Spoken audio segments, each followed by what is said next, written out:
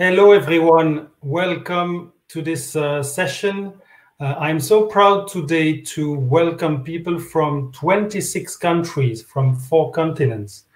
Um, it's, it's early morning for some of you, late in the evening for some others. Welcome, everyone.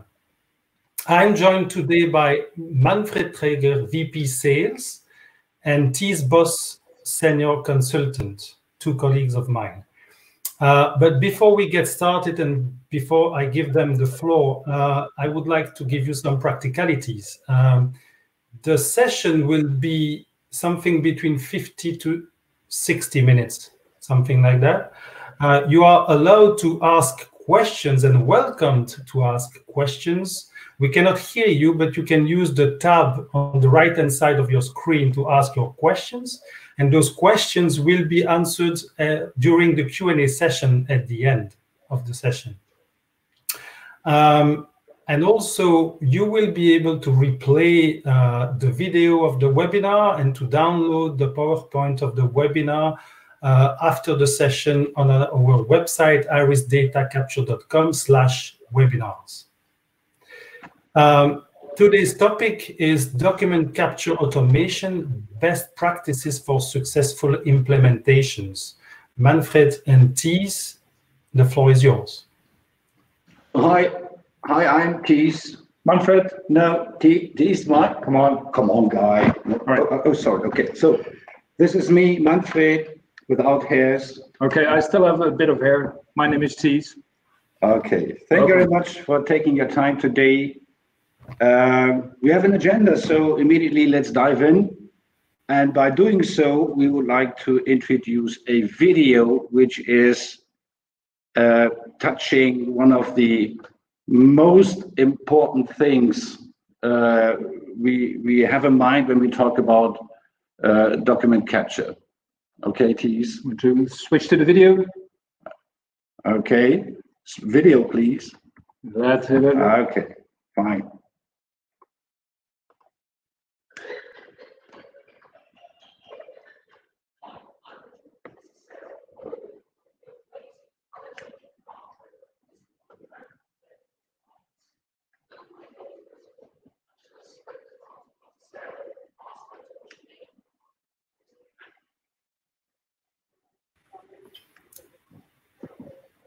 Thies and Manfred, we don't hear the sound of the video.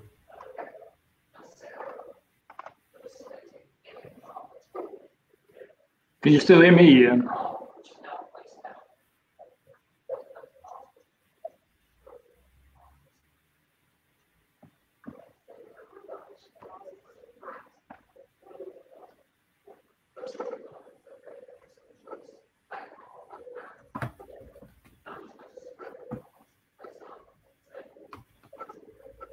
We cannot hear the sound, Thies. I, All right, then let me explain simply. They chose the three of uh, diamonds, and they are showing the trick that, hey, all of a sudden all the cards are red instead of just the one card being red.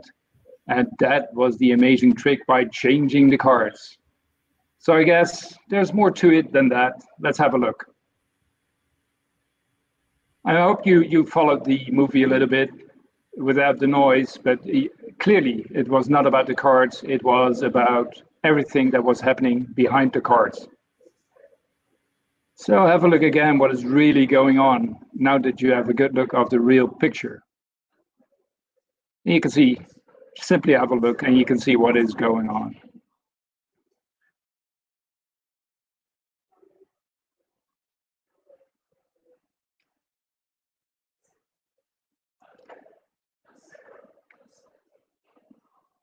And it's always clear to see how your mind fools yourself. You're so distracted by some cards on the floor that you're simply forgetting to look at maybe other information that really does matter. So you can see really what is going on. Everything is changing, and it's actually a very simple card trick. But the trick is not the cards, it's everything else.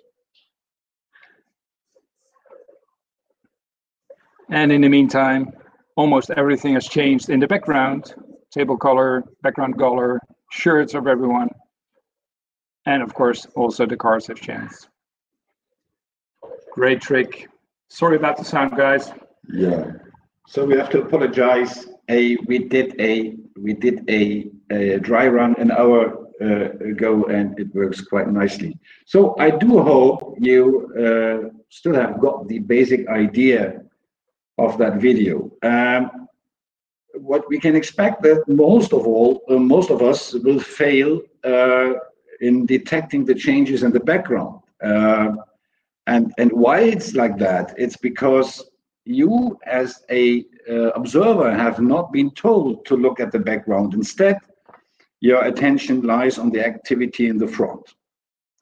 Yeah. So a and if you look at Wiki, uh, you can find the explanation for this human behavior. Human perception is the process and the result of information gathering and processing of external stimuli. So it sounds difficult, but at the end, it's not that difficult, yeah, because simply you filter information and you merge information into a meaningful model. So that what you see is based on a model.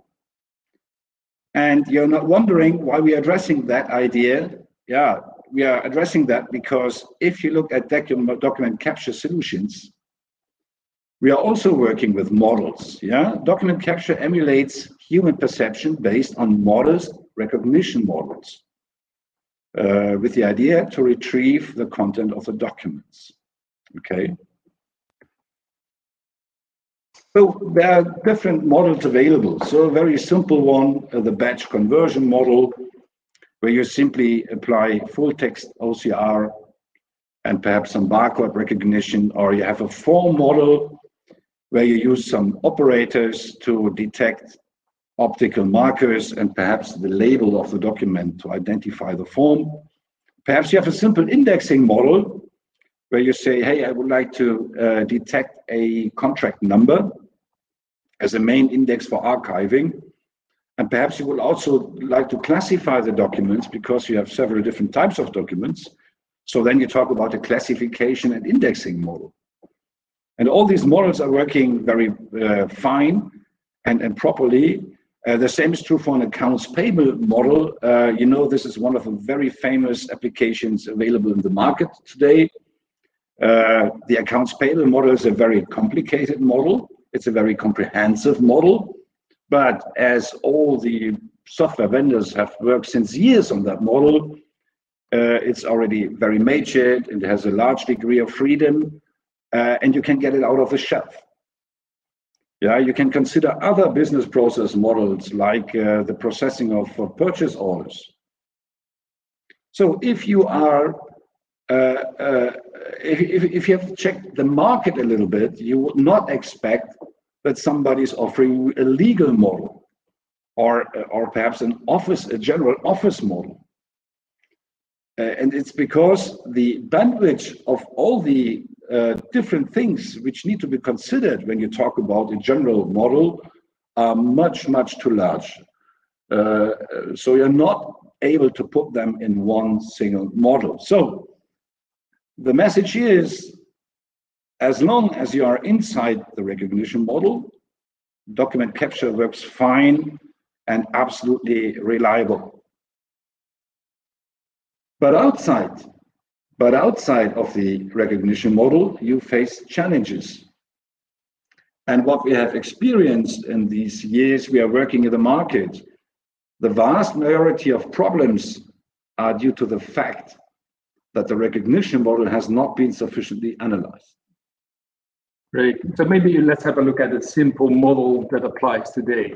And I think the most common model is, if we simply would look at an invoice. So I'm opening my verify um, application from IRISXtract and have a look at our accounts payable solution. And here you see a standard invoice. So there's a lot of logic on the invoice and clearly there's a lot of modeling on this type of invoices. So actually, this is a, a, what we call a goods invoice. So you're purchasing some items and you get an invoice for the items that you purchased. And you can clearly recognize the structure on this document, the model. And the structure is there's a quantity, there is a single price, and there's a total price. And that's more or less the basic model that you would expect. And of course, we did capture some additional values in that model. So we did capture a discount and maybe an article number, etc. But the basic model is understood. And because of that model is there, and it's so clear on these type of documents that we capture this information automatically, and it's intrinsically validated by the system. So that means an operator does not need to look at it because it's checked on line item, it is checked on a total against the total amounts, it is checked by VAT rules, etc. A very clear model, great to work with. But of course, there are other documents which do not have such a clear model, even other invoices. So let's have a look at another one. This is an, um, a document coming from the well-known Hertz company who are renting out cars. And if I look at these this document and I look at the amounts mentioned here, then hmm, yeah, maybe on the first line I see something like a quantity and maybe an amount and a total. But if I look at the balance due for payment on the bottom right here, uh, it says 12,000 something uh, as an amount, and I have no clue where that amount is coming from. If I see all the uh, amounts that are mentioned on top, I cannot relate to it directly. Um, maybe it's a simple sum of everything, but it's clearly that we need to adapt our business model to this kind of touristic invoices. So our typical goods logic does not work anymore because we took a different document from a different world. Yes, of course, it's still an invoice, but it's coming from a completely different type of process. Great, so that's one sample. So maybe let's have a look at another sample. So this is a Dutch election document. Hey, sorry guys, I'm Dutch, so it's something coming from the Netherlands. And the model of such an election document, a ballot, um, is that you have a lot of these uh, nice blocks where you can fill in the candidate that you really like. And the only rule that is there, you can only select one. That's the basic rule. So great logic, a lot of these bullets, but you can only select one simple business model. Funny thing is, we encountered a completely same type of ballot, which looks completely differently. Look at this one. This is coming from the Dominican Republic. And the people in the Dominican Republic recognized that not everyone in their country was able to read a normal ballot with text. They had so many people who were simply not able to understand the document that they simply said, okay, we need to put pictures pictures on the document. So and with that picture, the people were able to recognize their favorite candidate and they simply cross out this document. And again, the basic model is the same. You can only select one, but it's completely differently.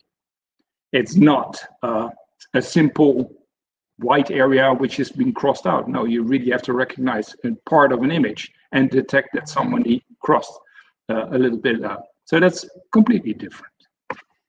Yeah, Thies, thank you very much. I, I like this. Uh, I like this example with the ballots uh, uh a lot because uh, imagine somebody is claiming to have a solution for ballot processing. Yeah, he feels secure because he thinks he considers he has a valid model, and this simple example is showing uh, quite easily that with this kind of graphical processing of a certain kind of ballot uh, the model will fail. Yeah, and imagine you are in a project and you have to deliver in time and in budget, and you are confronted with such a situation.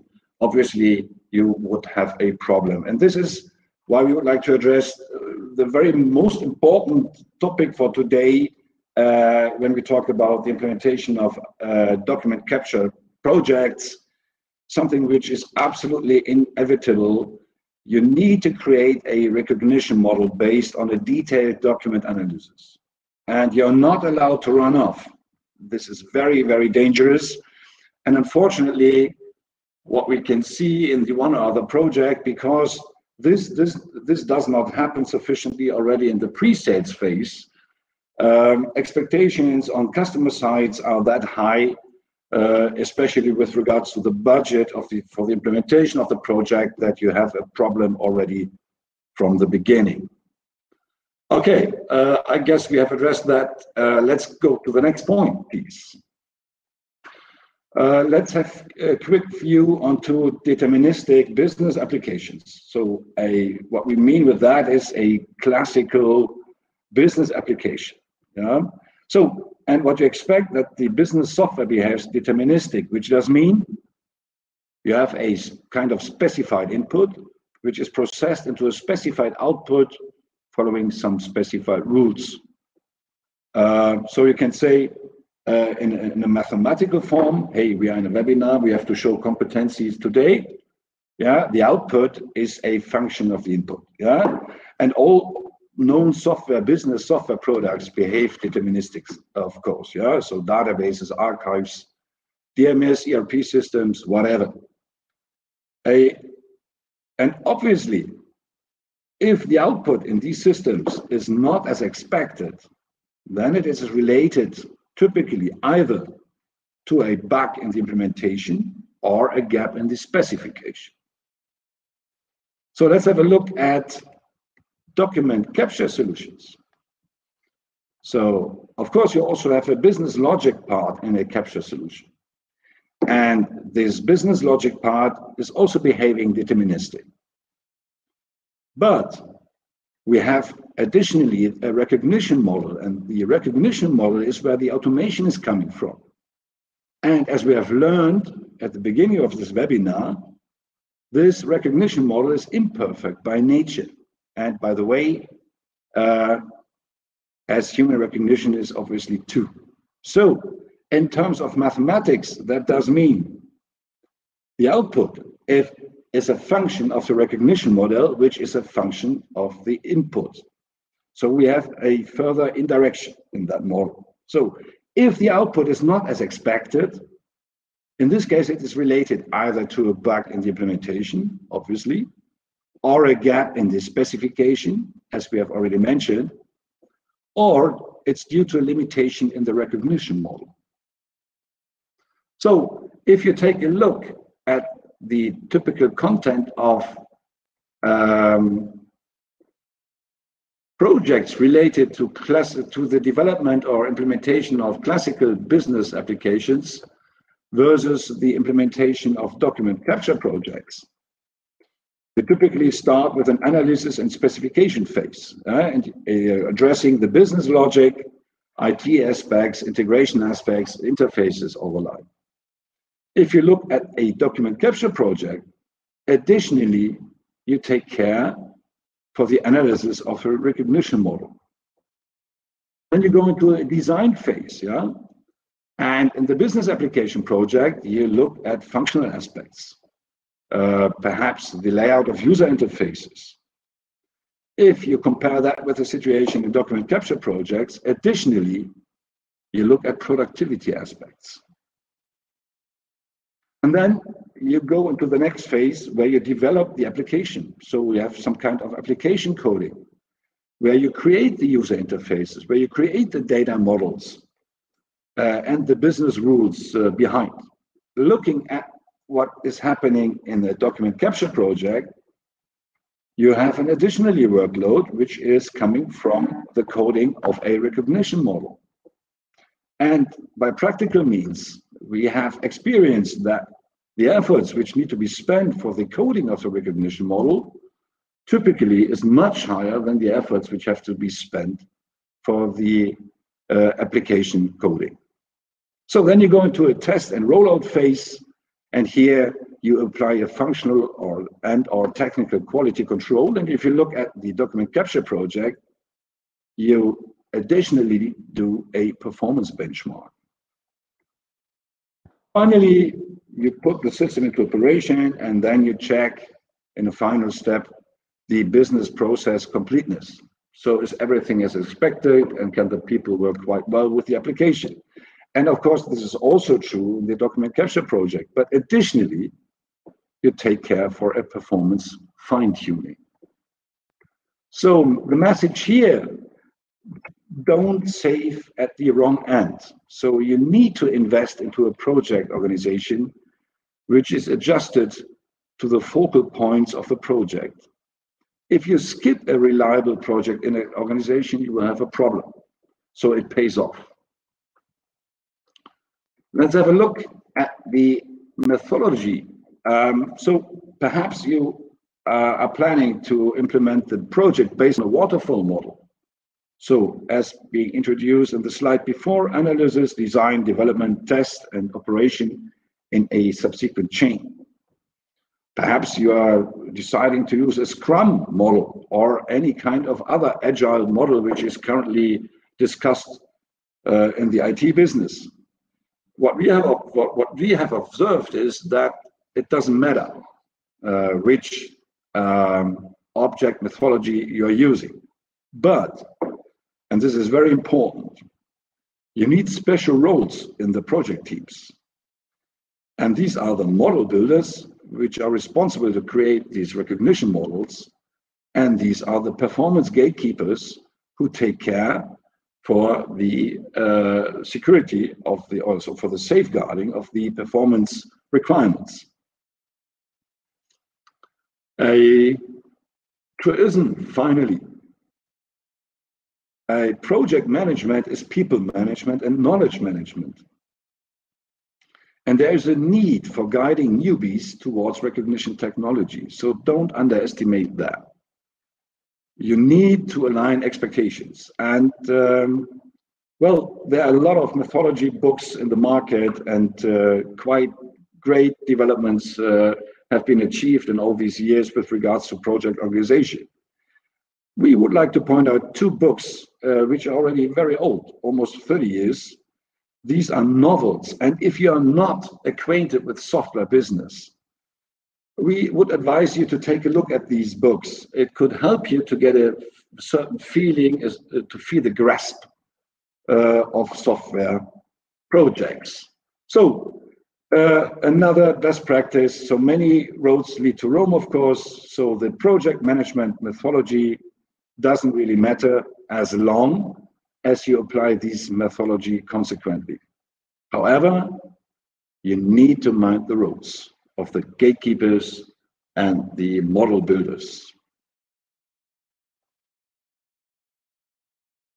Now, looking at a document capture project, a, there is a very important um, idea, and this is saying that the very nature goal of almost every capture project is to reduce operational costs of document processing by improving human productivity. Yeah. So if you go, uh, let's please show the graph, please. Uh, if you if, if you take a look at this graph, um, you can see that the larger the automation rate is, the lower you will have cost, uh, the lower the cost for manual efforts for the keying of the documents will be obviously.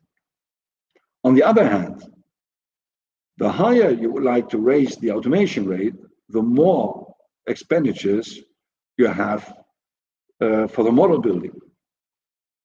And there will be some kind of optimum represented by the total solution cost in this graph. And it's not necessary to really touch the optimum at, at the mathematical minimum. But you need to be somewhere in that area. And if you if you follow this recipe, we are convinced you will meet uh, you will you will be able to meet the expectations of the customers, but also uh, you will be able to meet your own expectations, uh, the budget and the timeline in the project. Please, perhaps you can give some practical hints on on, on showing the money. Yeah, yeah. So what I'm trying to do is is trying to show how to get to that optimum point. And, and for that reason, I, am simply showing a little simple classification of a project. So here I'm doing a very simple data capture project where I have some assumptions. So typical, my keying operator is uh, very uh, inexpensive because maybe I'm sending the work to Manila or somewhere else. Um, I still have an expensive project setup worker uh, to employ. And I assume that I have a very small project at this time. I'm using just 10,000 documents and then I'm done with this project. So if I further take an assumption that I'm only using 60 seconds per document to do a completely manual keying, then if I take the complete calculation, you can see that I'm just below 6,000 euros to get this project done completely manually. You know, we are IT guys. We don't want to do things manually. We want to dive into automation and make things work more automatic. So let's assume I, I'm getting to a working point where I only need four seconds per document on an average anymore. that really means that maybe some documents are completely done automatically and there are still some documents that maybe need to be completely done uh, with the full 60 seconds, but on average four seconds. And I also said in this model, I am spending 40 hours to do my model building, to do my automation. And oh boy, I am more expensive than the complete manual approach. Well, that's a pity, of course. And hey, let's be honest, this is, of course, typically because we're doing a very small project. So it could make sense for a simple project not to bother with this whole model building, but just to quickly start working. But maybe let's make a different assumption. So let's play around with Excel. Let's add a little bit to the numbers. So we're doing maybe a million documents per year. And we're doing this maybe three years in a row to get, to, get to an, a different calculation. So if now take my same, complete same project setup, logic, and building, you can now directly see, hey, my uh, manual cost is sky high and my automation cost really dropped to a very low rate compared to my no automation logic. So hey, that's that was a great job. But maybe we can even enhance productivity a little bit further. So what we're going to do is, let's say we're going down to two seconds uh, per document on average work required to get this document done. And for that, I spend an additional 40 hours to get the work done. And if you now look at the math, then you can see, hey, I'm already a big chunk cheaper than my previous automation level. And of course, you can keep on continue playing with this uh, game. So maybe go down to one second, play and go down to a half second.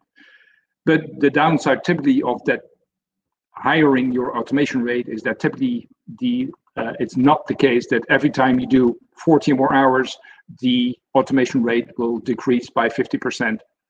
Typically, what would happen is at some point you need triple, quadruple, or 10 times the amount of time to get even further in your automation rate. So, and that's the minimum, then you're touching the optimum point where you want to be.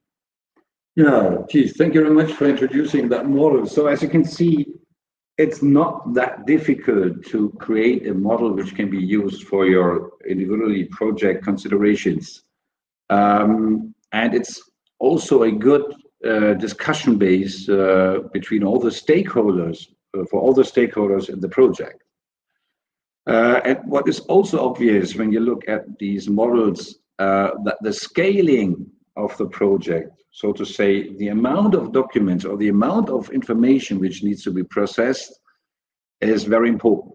If you have small applications, uh, saying uh, the processing of some hundred documents per day, of course, these kind of productivity discussions are not that important. But if you uh, go for a processing of uh, several thousand documents per day, of course, these scaling and these productivity considerations do make a lot of sense.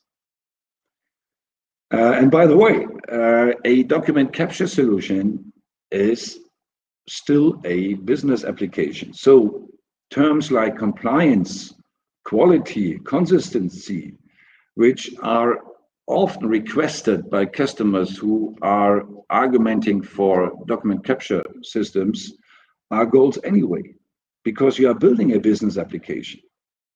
And please follow that advice, mind productivity, uh, which is helping you to uh, create uh, a good benefit and value for the customer. Um, yeah, when we talk about uh, productivity, we do not look only at automation. And the crux of the matter in these projects is that every keystroke and human user interaction counts. So optimize productivity. Please give us some insights. Right.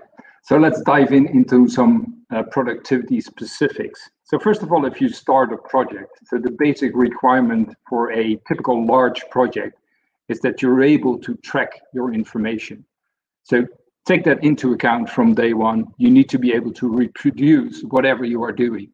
Who is doing what and when and how long. Where is the document right now? Is the document still at an archive station or at some prep station? Where is it? And you need to be complete from end to end. And for all that, use as much useful tools. And in the uh, world of scanning, the tools to use are typically barcodes and RFID chips. So use those tools so you have a direct and simple uh, detection of what is going on with your document and who is touching it. And the next important step in that scenario is you want to get rid of paper in your process as soon as possible, meaning get it scanned as soon as possible and get it stored safely. Not only is handling of documents expensive, but it's also dangerously. Because, for instance, if you simply drop your stack of paper along the way to the scanner, at that point, the whole logic of the documents in the order could be lost, which is very risky. And handling paper makes also your process very inflexible because you're always stuck to someone touching paper. If you have it digitally, then you're not stuck to uh, a person, you're not stuck to a location. You can do it anywhere, any place, anytime if you want, if it makes sense. And just a final hey, today the uh, processing of color information has really gone to the next level. So we're not today working on black and white images anymore if needed. So we can use color information to get to a better result. That's really cool. All right, that's about tracking. Then maybe give some other uh, small definitions that you will find typically in this marketplace uh, on the capture world. So you will hear the words positive result and negative result, simply meaning if you get a positive result, it's correct. Negative result meaning it's incorrect but then it's often combined by false and true. So you get the word true positive. That means the system says it's correct, positive, and he is actually right, true. So a true positive is the best result you're going to get. And hey, if you get those a lot, great, good job. And then again, the downside is, of course, the false positive, meaning the system thinks he's correct, but actually he's producing an error and that error is being delivered to the receiving application, which is not maybe directly a reason for concern. The first question you need to ask yourself, okay, what does that do, this error to my service level? Am I still within the boundaries, boundaries of my service level or, or not? So when not, then even then it's the question, where is the cost related to fixing this error? Is the cost of improving your capture project maybe bigger than the cost of simply accepting the error and handling that error in production. Of course, that leads to all kinds of interesting SLA discussions, but that's for a next topic. And of course, then there's the negatives. Yeah. So uh, we are addressing this uh, technical stuff because we have observed that the usage of these kind of definitions in projects could be very helpful. So uh, an idea is to take your time in projects to introduce this uh, yeah, professional speech uh, because it will help you the communication about this model creation and about in the discussion about performance KPIs. So as we're talking about productivity, uh, there's always the interesting question, uh, okay, how can I measure productivity? What is the right KPI to indicate the right productivity? And typically people love to say, okay, the best uh, KPIs is the number of fully correct recognized documents. I'm not always that happy with that KPI. And I will give you some examples why that doesn't maybe always help you.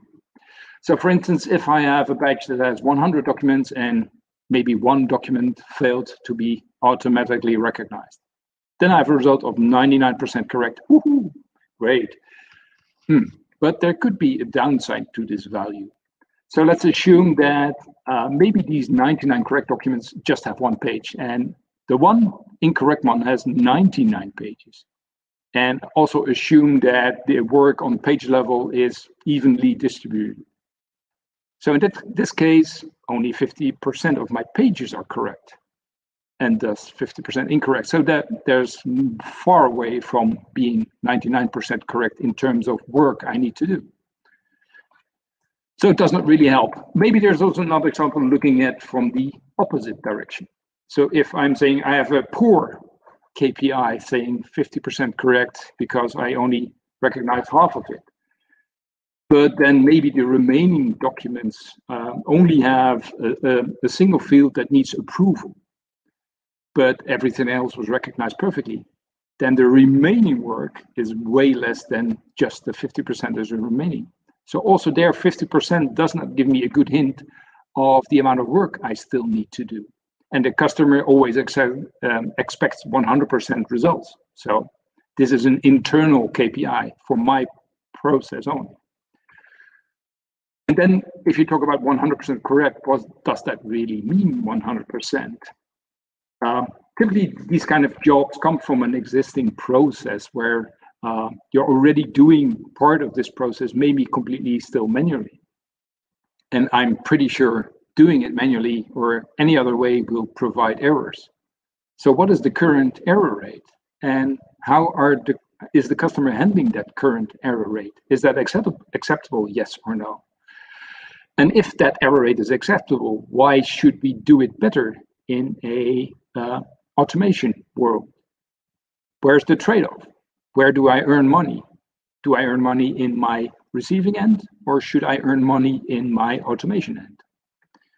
And talking about uh, these kind of levels, um, if you're talking about a typical manual mailroom sorting, so classifying documents, the typical error rate is something like 97%, which is an accepted practical value. You can also look, for instance, on character level. So even if you do double keying on words or on characters, then you still see the the best outcome is still something like 99% on character level. So taking a document that maybe 100 uh, characters, then every doc document on average has a failure. So let's be careful about that. What I personally like to do is as a, uh, a good KPI to measure productivity is to see how much work do I need to process the documents that were not 100% uh, uh, scanned correctly. So how much time do I still need to process all the documents that have come in? And in that case, you get something like uh, documents per hour per uh, employee. How many documents can he process, including the amount of work that the automation did? And of course, we need to have a quality that is good enough, and uh, it has to be within the service level. But we will come back to that later. Let me finish off with some more numbers so you get some feeling about what can be done in real life. Um, some basic scanning work, which is boring, which needs to be doing always, is prepare documents for scanning. So get rid of sta stamps or staples, um, any other me metal stuff in there. And you can roughly do that by five, 400 documents per hour. If you're talking about a classification uh, rate, that's typically done by 600 documents per hour. And of course, there's a lot of discussion about that. And then you can maybe have a look at uh, keying uh, keystrokes per hour. And of course, in real life, that could vary a lot. What is important to keep in mind by these numbers is that we're doing this on an average base. We're not using for top figures uh, that only a person can do for maybe 10 minutes a day. Now we're looking for figures that someone can do for seven hours out of their complete workday of eight hours. That's something that you need to keep in mind. So one comment on that. Um, one further comment on that. We, we, we face strange discussions when we talk about a uh, field recognition rates and document recognition rates. And uh, we could already spend an hour only to talk about that because there are some statistical or mathematical constraints in these values. And uh, yeah, if you like to uh, talk about that with us, uh, we would be happy to do this later on. Uh, yeah, uh, let's come to another point we would like to address, and this is uh, the self-conception that a you need to have a, a, a, good insight into the entire business process. Document capture is not an end in itself, of course. Um, yeah, the typical view is that you have some uh, input channels uh, like a scan client, electronic files, email, cloud uh, interfaces, or mobile devices. Then you have the processing of the documents within the capture system, which does mean you classify uh, the documents by type, and then you do some data extraction, and then you feed the data into subsequent um, business applications. And typically, you talk about technical interfaces between these three environments. Yeah, so it's a straightforward view, but you should uh, take a closer look. Yeah, so if you look into the processes which are uh, built in the ERPs, you can learn quite a lot about constraints, connectivities, data uh, uh, relationships, which helps you to understand how to create a better recognition model. And the same is true when you take a look at the input side. So it's not only that you talk about technical interfaces, but at the end, there are business partners behind which are communicating with your customer and if you can create a certain understanding about these business partners and their needs, then you also have a better understanding about the communication between uh, uh, or about the data which is coming uh, via coming in via these input channels. Good. Uh, another point. Uh, okay, you're using automation, and automatically uh, there is an idea that uh, there should data be processed which never has been processed before because you have no automation. So, but you need to resist this temptation, yeah? Please prevent unnecessary data requirements. There is no free lunch with automation. Yeah, so it's almost speaking for itself. So it's really you don't want to capture data that you might want to, but the business does not really have a need for. For instance, a, a reverting to our uh, invoices. So you don't want to grab the description of an article when you know I, actually that description is pro probably something completely different than what the uh, supplier sends on the document. So maybe you have ordered a blue pen and the supplier is delivering a pen blue. Well, maybe that's too simplistic, but you can figure out if you're ordering a PC with all kinds of components, then the description will be quite hard to match and probably is not even necessary because you already have the article numbers, which are way more useful.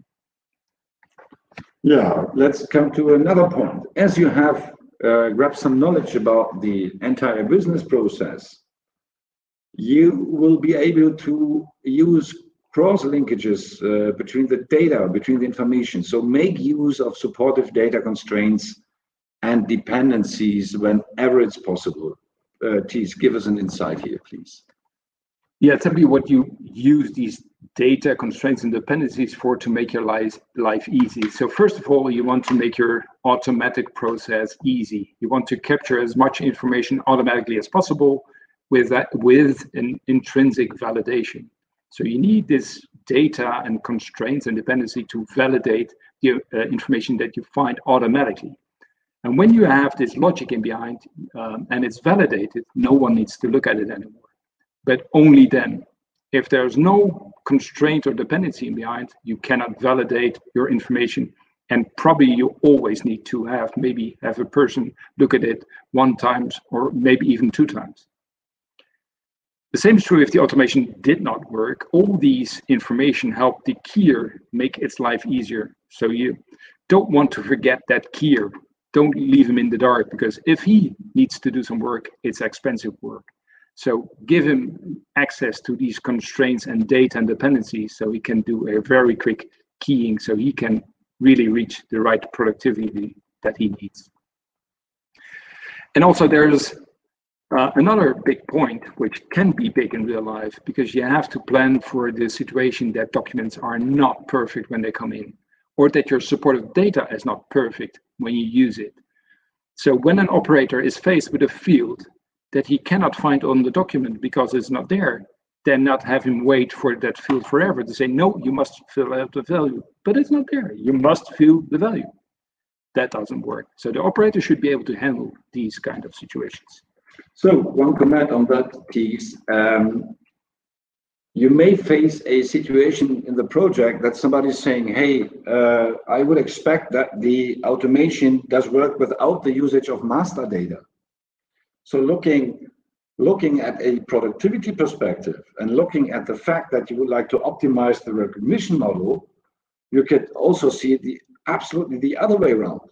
Make use of master data whenever it's possible, because it will definitely raise up the productivity. Absolutely. Okay, so uh, next topic we'd like to mention. Um, yeah, you need to create a document model, a recognition model, and you're doing this by the analysis of a documents. Um, and here you need to get the customer into uh, his responsibility because he is able to show you the documents uh, which are important. You are not able to do that on your own. So that does mean you have to insist on and you have to support the provisioning of a representative set of documents. If you use a good software solution here, uh, then it will have features to create these kind of representative sets of documents. Please, also here, in short insight, please. Yeah, but I'd like to call these sets of documents benchmark sets because I you really take these documents to test or benchmark your system to see what the quality is that it's delivering and what the productivity is that it's delivering. So if you have that benchmark set, you can directly go back to your customer and say, okay, if you give me this benchmark, this is the quality and productivity I can deliver and stay within the requirements that you give me and that really puts the strain on him to give you a sensible set. And a typical volume uh, of such a benchmark set is something that you produce daily or weekly. And by doing so, um, you get the documents that really occur during that week very often, a lot in your benchmark set. And the document that are only there maybe one time a week uh, is then only one time there in your benchmark set. So it does not really have that importance as all the other documents have, which is a good thing. So it's really important to get a really good distributed benchmark set that really applies to your day-to-day business.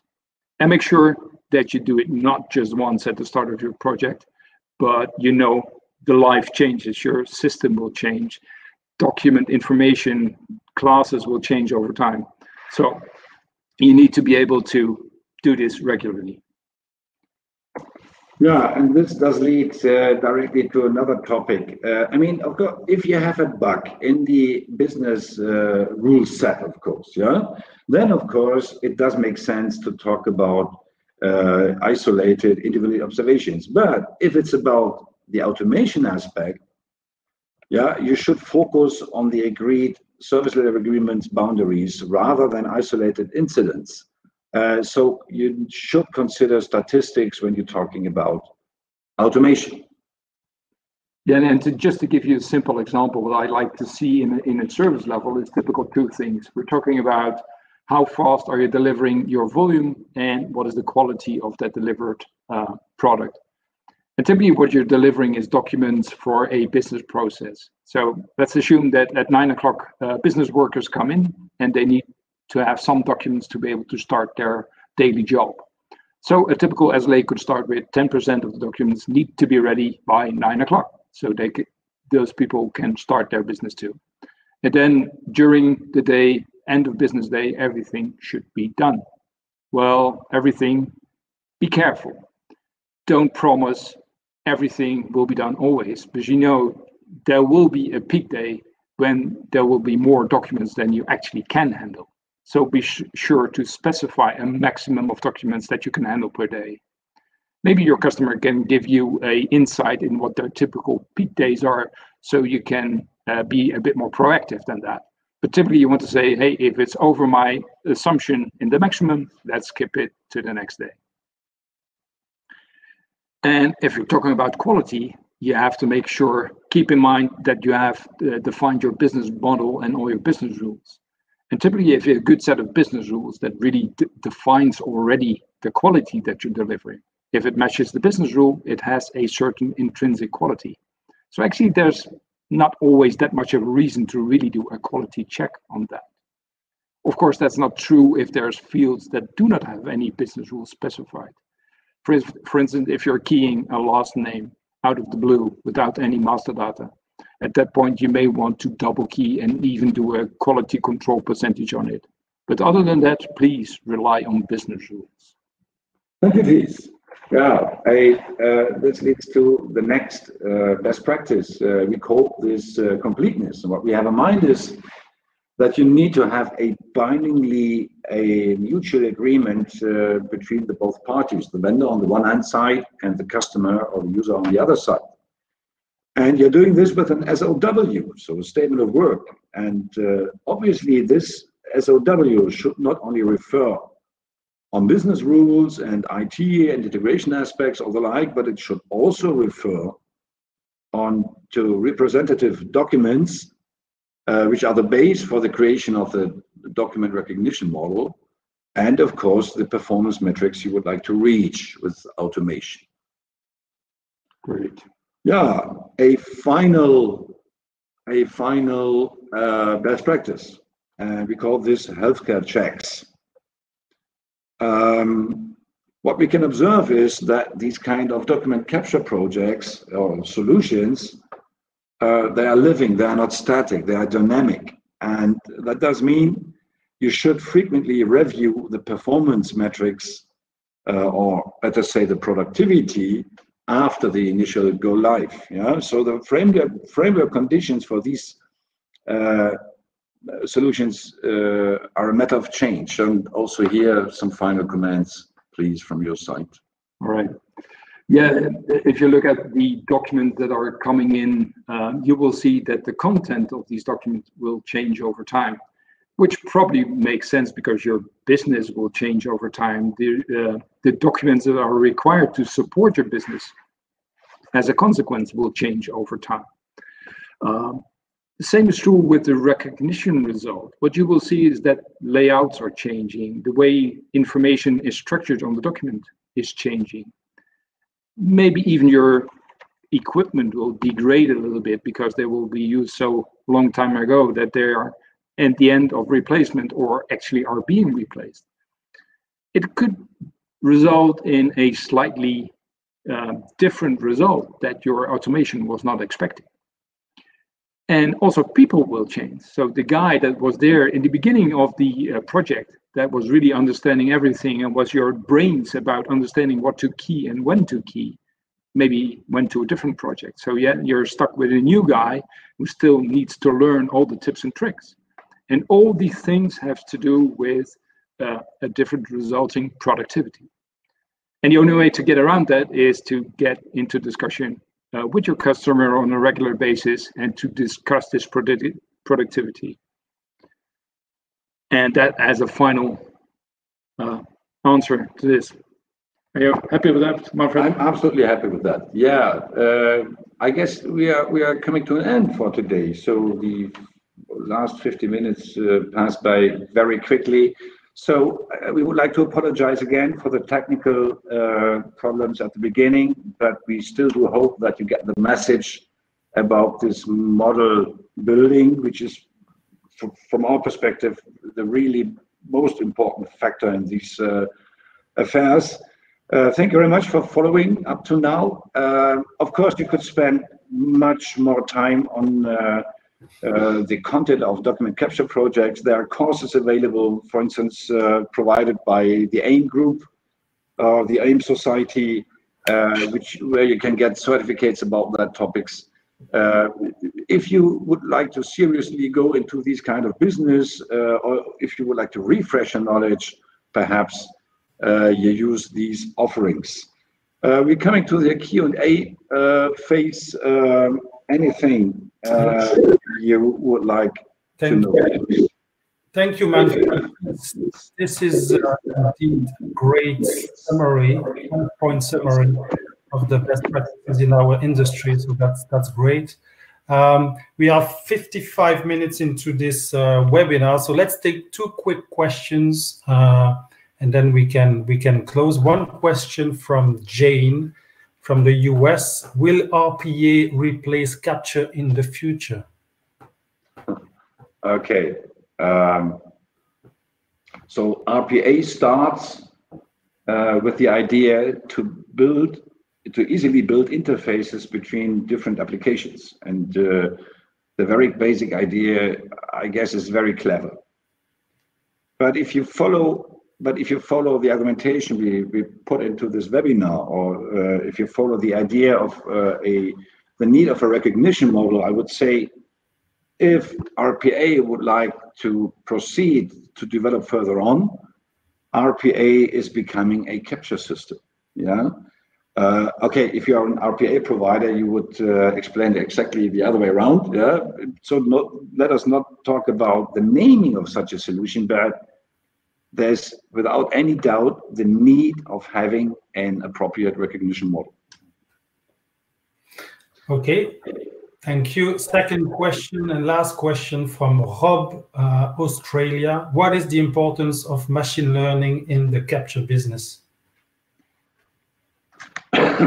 okay. Um, what you have seen, what you have seen here, what we have introduced today is the current, state uh, uh, of uh, the capture market, and that does mean there is a need for a recognition model, and the recognition model is being created explicitly with the help of powerful operators. A certain vendor may call these operators so-called locators. So we call them search fields or table finder. Nevertheless, there is a need to create these recognition models. So the, the promise, or let me say the competition in the market is about how much efforts you need to spend for the creation of these models. Yeah, and here machine learning approaches are uh, giving the, the, the promise or the idea that you can save time to create these models because uh, uh, these models will be created implicitly by observing uh, human interaction finally. So there will be a development in that direction, but also here I would say finally there is a need for the creation of um, these recognition models. Yeah, but it's clear uh, everybody is hoping that with the help of machine learning, the creation of these models, it's getting more cheap. Okay, thank you. Um, Thies, if you can move to the next slide. So just to this one and the next, yes, thank you. Just to, to repeat that you can replay this session uh, from the website. I think in, in, in a one hour time, it will be available. The session plus the slide deck that uh, Thies and Manfred have uh, presented. Uh, you can always go there. If you have more questions, uh, first of all, the questions that have not been answered online will be answered offline, of course. Um, you can always go to irisdatacapture.com and click on contact us if you wish to know more about our solutions, if you have additional questions, if you want to speak to our experts, Thies and Manfred included. So please don't hesitate. Um, I'd like to thank you again and um, thank you for your participation. See you soon.